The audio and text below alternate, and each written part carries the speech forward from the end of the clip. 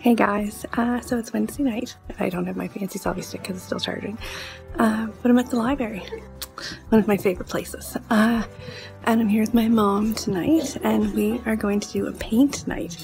And the theme is Maud Lewis. We're doing Black Cat, so it's a sold out class. I'm glad my mom thought to sign us up. It'll be fun. So uh, yeah, I'm not much of a painter, but I think it'll be a good time. Anyways, so I'll show you my finished product when I'm done.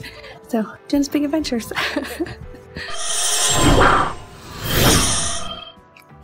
hey guys! So, paint night was a success. It was a nice class, actually. Um, it was sold out, and the instructor, Lindsay, is a good friend, and it was a lot of fun. It was nice to do that with my mom. That's what I'm gonna miss when I am gone. I'm still not using my fancy gimbal, and I tried to, but I just, anyways.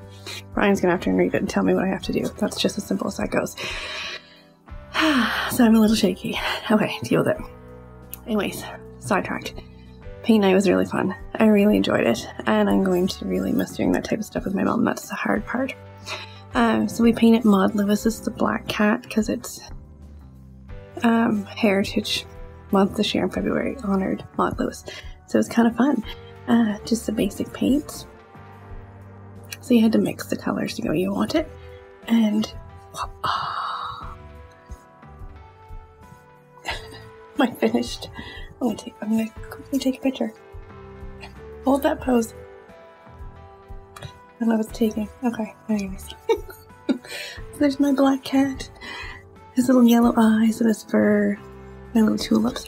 Anyways, had a great time. It was a really great program, and they need to do more of that. Uh, it was completely free, and they supplied everything, so it was really good. So, yay. Anyways, that's it.